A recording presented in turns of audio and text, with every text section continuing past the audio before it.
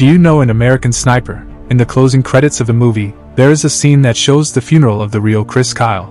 During the funeral procession, his casket is shown being covered with numerous SEAL tridents, which is a tradition within the SEAL community. This tradition involves SEAL team members pounding their own badge into the coffin of a fallen comrade as a way to honor and pay respects to them.